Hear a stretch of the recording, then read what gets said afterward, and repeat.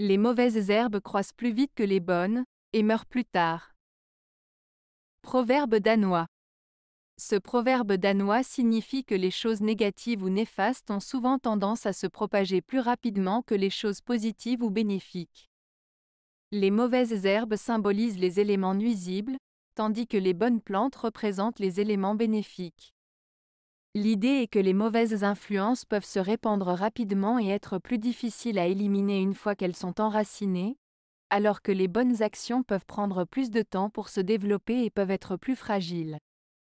Cela souligne l'importance de rester vigilant face aux influences négatives et de cultiver activement les aspects positifs dans nos vies.